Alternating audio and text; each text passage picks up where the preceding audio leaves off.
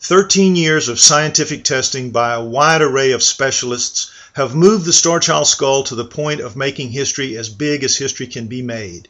Extensive physical analysis and compelling DNA evidence leave little doubt that the Starchild was not human and very likely was not from Earth. Yes, you heard correctly. Enough of the Starchild's DNA has been analyzed to make a convincing claim that it carried otherworldly credentials. But convincing is not ironclad. And to achieve ironclad proof, we have to analyze the star child's entire genome of over 3 billion base pairs. For as intimidating as that might sound, it can easily be done with enough support from people who are not afraid to confront a transformed future.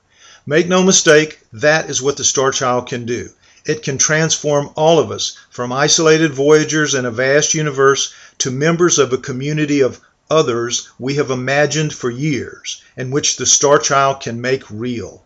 To learn more about this impending transformation in the life of every human on our planet, please watch the 17 minute video that follows. If it inspires you to help us achieve our historic goal, please share it with others who might also decide they want an answer to this great mystery.